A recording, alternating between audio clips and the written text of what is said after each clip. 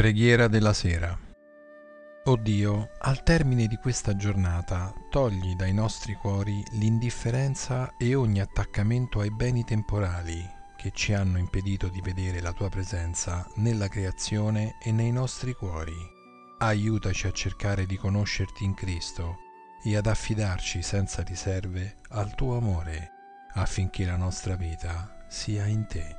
Per Gesù Cristo, nostro Signore. Amen.